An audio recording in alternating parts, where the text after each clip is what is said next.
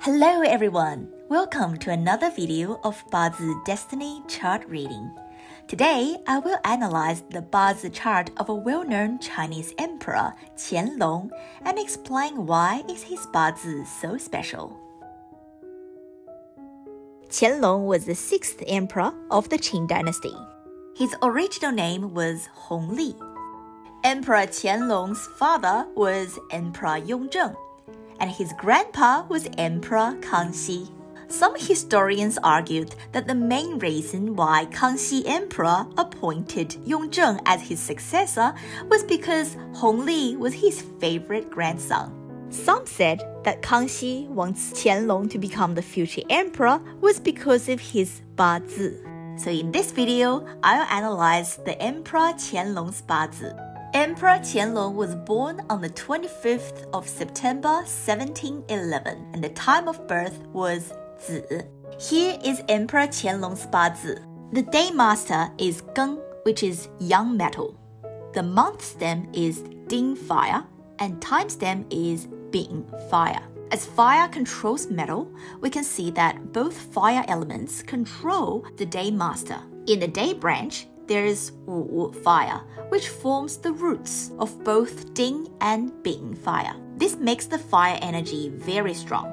We can see that Geng metal, the day master, is surrounded and controlled by fire. In the year branch, it's Mao wood. Wood enhances fire, which makes the fire even stronger.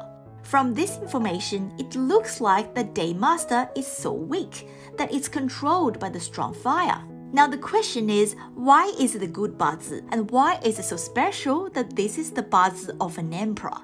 Well, let's have a look. In the time branch lies the zi water. Zi water and wu fire clash with each other. Zi wu clash is very strong.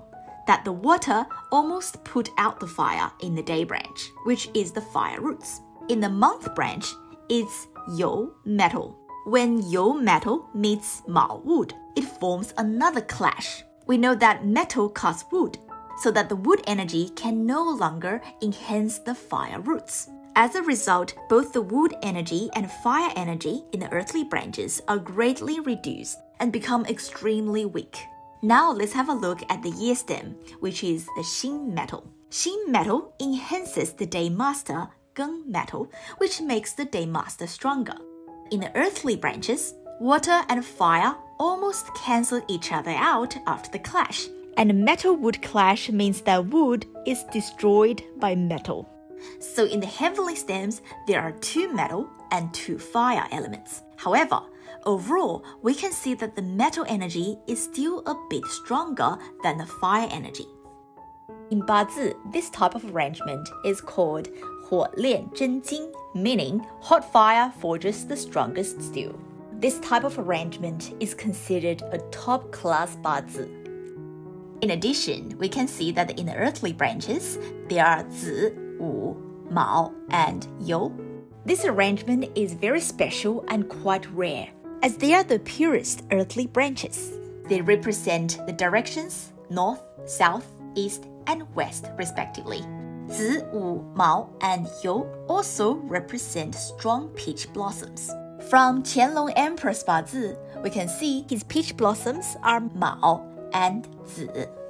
So from this Bazi analysis, it's important to note that not all clashes are bad. If the clash can get rid of the inauspicious elements, like in this example, then it can be very auspicious.